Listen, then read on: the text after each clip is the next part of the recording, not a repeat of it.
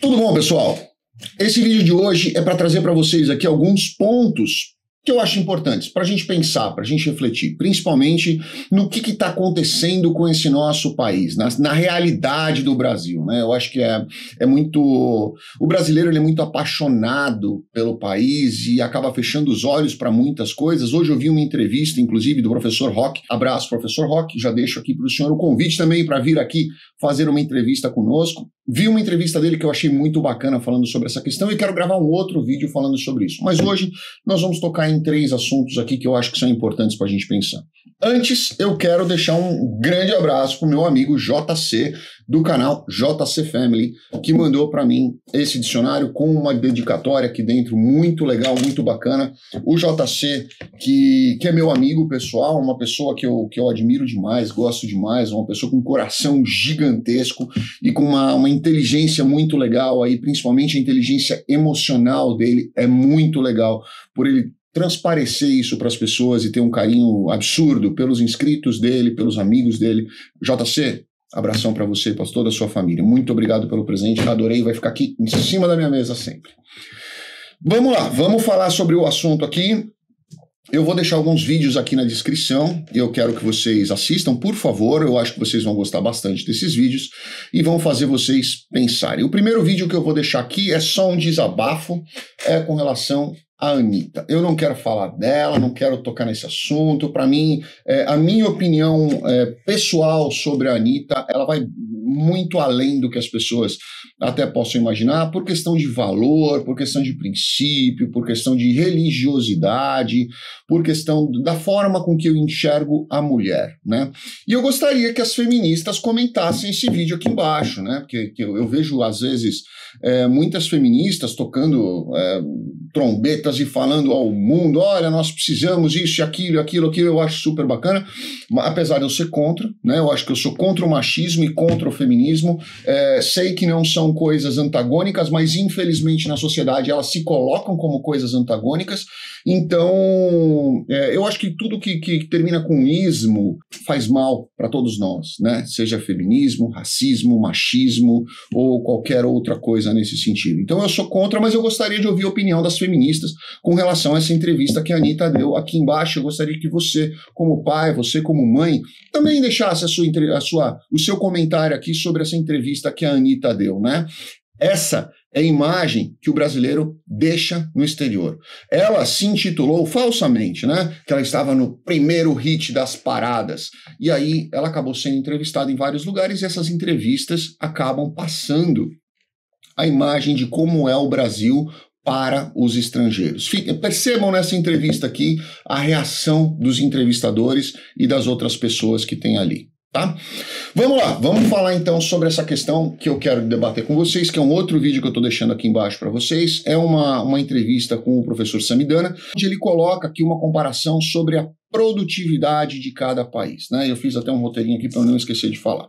Como é que você calcula a produtividade? Ele explica aqui. É basicamente o PIB dividido por horas trabalhadas versus poder de compra. Então, ali você vai ter um índice, esse índice é o índice de produtividade de cada país, ou seja, é a riqueza que cada trabalhador tem a capacidade de gerar para o país. Tá? Então você vai, vai chegar num número. Esse número, só para vocês terem ideia, um trabalhador americano ele gera uma riqueza de 68 dólares para os Estados Unidos certo? Então, vamos, fiquem com esse número na cabeça, 68 dólares por trabalhador americano. Quando você reporta isso para o Brasil, e nesse link aqui vocês vão ver na entrevista, ele coloca um gráfico super bacana, eu não vou colocar aqui no vídeo, porque senão vai dar direitos autorais, aí vão bloquear meu vídeo, mas é, assistam lá, vocês vão ver, é um vídeo super curto, ele vai explicar direitinho. O Brasil está em 10,78, ou seja, para cada trabalhador americano, precisamos de seis brasileiros para gerar o serviço. Aí você deve estar pensando acho que não, porque o brasileiro chega nos Estados Unidos e arrebenta de trabalhar, ele trabalha muito mais do que os americanos. Eu concordo com você, mas vocês precisam entender que esse brasileiro no Brasil gera um sexto da riqueza que um trabalhador americano dentro dos Estados Unidos gera. Tá? Mas aí, se você falar, como ele fez aí uma própria comparação, se você for comparar o Brasil com outros países semelhantes da América Latina, você vai ver que o Brasil é o pior de todos eles. Ou seja, eu venho falando há muito tempo aqui para vocês, já fiz entrevistas, entra aqui na comunidade do nosso canal do YouTube, vocês vão ver várias entrevistas que eu dei, muitas delas tocando nesse assunto. O Brasil fala que é o celeiro do mundo. Ser celeiro de lugar nenhum dá dinheiro, essa é a realidade. O que nós ganhamos como celeiro do mundo é uma fatia desse tamanho do que nós poderíamos ganhar se nós fôssemos um país tecnológico, se nós investíssemos em tecnologia, se nós eh, exportássemos tecnologia, se nós exportássemos os grandes cérebros brasileiros e não permitir que essas pessoas simplesmente saiam do nosso país é, porque eles não aguentam mais a economia, não aguentam mais a política, não aguentam mais a insegurança pública, não aguentam mais a insegurança de saber se os filhos vão para a escola ou não. Né? Então a gente precisa olhar de uma forma macro. E quando eu falei isso lá atrás, um mês atrás, dois meses atrás, eu venho batendo muito nessa tecla, Tá aí a prova para vocês de que o Brasil, ele não será o país do futuro nunca se as pessoas não entenderem que investir em educação e tecnologia é o que vai fazer o Brasil crescer. E para o Brasil crescer, nós estamos falando em 50 anos, porque você não investe em tecnologia e educação e espera colher amanhã. Você começa a investir agora e na próxima geração você melhora um pouco mais, você desenvolve a tecnologia, você desenvolve pesquisa, você faz investimento, até porque nós não temos dinheiro suficiente para investir em tudo simultaneamente. Então, eu acredito que com esse vídeo aqui você vai abrir um pouquinho mais a sua cabeça e vai conseguir enxergar qual é a, a real situação do Brasil. E por que, que eu acho importante você fazer isso? Porque eu vou gravar um vídeo na semana que vem falando sobre as razões pelas quais as, os grandes cérebros brasileiros, porque os grandes empresários, porque os empresários de classe média, principalmente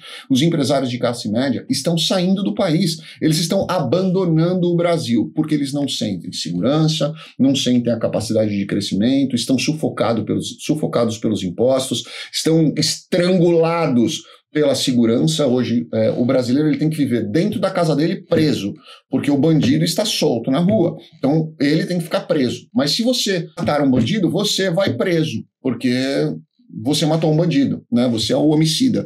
Então são, são valores invertidos, são coisas que essa situação da Anitta são, são coisas que realmente acabam sendo inadmissíveis no Brasil, são coisas que são intoleráveis no Brasil e as pessoas estão sufocadas.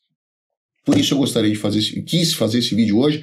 Gostaria que vocês assistissem esses links que eu vou deixar na descrição. E aí na semana que vem eu vou gravar um outro vídeo trazendo para vocês aí as questões principais pelas quais o Brasil está perdendo os seus grandes empresários, os seus médios empresários e as pessoas que realmente fazem diferença na sociedade. O Brasil será entregue a um governo de doação, de, de, de, de, política de sustento. Quem der mais para os, os pobres que ficarem vai governar o país. Esse nós vimos exatamente esse mesmo cenário em muitos outros países devastados pela política e a gente precisa tomar cuidado, principalmente nesse ano. Grande abraço a todos, fiquem com Deus. Obrigado.